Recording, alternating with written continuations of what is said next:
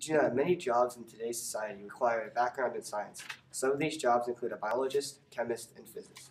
or an astronomer, environmental scientist, or doctor. If you're interested in any of these job fields, you should consider adding a science elective to your schedule. Well, environmental science for Pennsylvania, as the course title is called, covers seven different units of study. And the seven different units of study are on the board right here. The biggest ones are things like Marcellus Shale, climate change, and Pennsylvania wildlife. So if you take uh, environmental science for Pennsylvania, those are going to be three big units. Plus, we have pond and courtyard management, where we actually go outside and we work uh, with tools to make sure that the pond and the courtyard look good. Well, any student who would want to have a career that would involve any aspect of environmental study or environmental outside work, this class is going to benefit them. Obviously, Western Pennsylvania is home to Marcellus Shale, so if you have any kind of a career interest in that area, you need to know about it. Climate change affects everybody's life, and certainly we're surrounded by wildlife in the state of Pennsylvania, so that's beneficial too. This class sounds really interesting. I've always been interested in the environmental sciences, and I can't wait to see what this class is about. Yes, I would take environmental sciences because it seems as an extension of biology, but specifically for Pennsylvania. And it also gives you kind of what you would need to start a job because it focuses on management of certain things with biology. Hi, I'm Mr. Shriver. I teach AP Biology here at Avonworth. AP Biology is Advanced Placement Biology. It's a college level course in biology. It's for kids who want to go into some aspect of biology for their careers. If you take AP Biology, you will be prepared to enter the field of biology after you graduate from college. You have to have chemistry and biology as a high school prerequisite. And if you have those two and you love bio, take AP Biology. See you then. Hannah is a student in AP Biology. She would recommend this class to people interested in biology. It helps with the college admission process and it is worth college credits.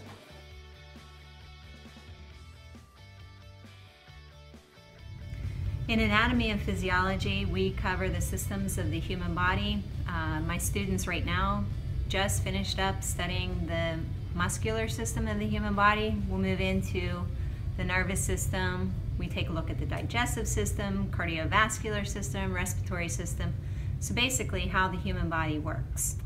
The elective is one credit. It is a full year class. Some students have signed up. I have a student right now this year who thought it was a half a year class. It is a full year class, so it is one credit. Anybody who has successfully passed biology is eligible to take the class. Tuisha is a student in anatomy physiology.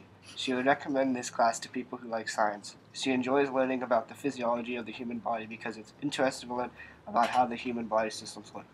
She enjoys rectangle table discussions where they discuss certain medical topics and drink hot chocolate. course. The astronomy is a half-year uh, course, so it would be half of one credit. Um, it's available to sophomores through seniors, um, you know, of, of, next year's class, it's available for any students, but particularly students that are interested in in science. If they're curious about how the world works or how we know um, what we know about how the world, the universe as a whole works, then astronomy is probably a good course for them to take. Uh, it's organized into six units. Um, we start by looking at the sun, the moon, and the earth, and how we can tell from the earth uh, you know, what observations we have about the, the sun and the moon. And, then from there we start be beginning to talk about um, how the planets came to be. Uh, what sort of uh,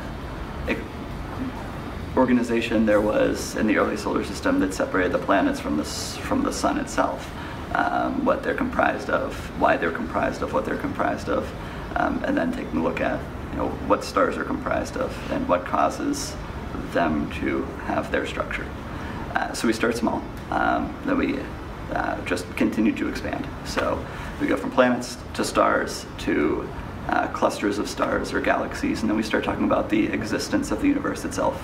Um, and so we would close the uh, close the semester with a discussion on cosmology, um, the existence of space, the existence of time, the existence of matter, um, and throughout how it is that we know what we know. How is it that we can look out into the night sky and know the entire structure of the universe just by looking at the movement of stars and planets through those observations night after night. Uh, how do scientists know about everything? And that's astronomy. So AP Physics is a full year course open to juniors entering their senior year. Is a course that can only be taken after a first year physics course. So um, regardless of the physics course you took your junior year, um, you're eligible to take AP Physics. Um, though AP Physics does require some level of problem solving, so you have to be very comfortable with your math skills um, in order to be able to take the course uh, and succeed probably to a degree that you'd like. Uh, the AP Physics course is a, a full year course. It actually comprises two separate AP Physics exams. Uh, the fall semester um, from September until December is AP Mechanics, and so that's covering topics like forces and energy and momentum, circular motion, stuff that's probably pretty familiar to students who have already taken a physics course. The second half of the year, though, is electricity and magnetism. That's a separate AP course, so you can actually take two tests at the end of the year and get credit for two college classes the electricity and magnetism course is all new material covering things like static electricity, current electricity, electromagnetism. Um, so it'll be new stuff, but um, should be pretty interesting. Uh, as I said, it counts as two separate AP courses. Um, it should be taken concurrently with AP Calculus because it is a calculus-based course. Um, so it's something worth considering. Uh, but I encourage anyone who enjoyed their first year physics course to, uh, to sign up for AP Physics C, and uh, hopefully we'll see you next year. Hi, I'm Mrs. Tracy. Um, I am the current Honors Chemistry and AP Chemistry teacher here at Avonworth High School. The elective course that I teach is AP Chemistry. AP Chemistry is the type of course that would benefit any student who has an interest in pursuing additional chemistry beyond Honors Chemistry 1. Most of my students are in the 11th and 12th grade and they have committed themselves to a course that's college level. Um, it is a curriculum that's designed and has been approved by a professor at the college level.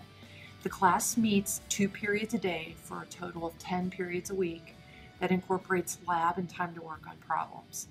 Our main goal is to make sure that the student who takes the course is ready to take an AP exam covering the material in May of the following um, semester, so May of the spring semester. Um, the course is one credit. Um, usually, the best student who would be eligible to take it would be somebody who has completed um, at a successful level Honors Chemistry 1 and is currently enrolled in either IM4 or Calculus. If you have any questions, please come and see me at your convenience. Thanks. We love AP Chem! If you're interested in biology, Pennsylvania's environment, our solar system, or the human body, you should consider taking one of these science electives. You can sign up on March 15th.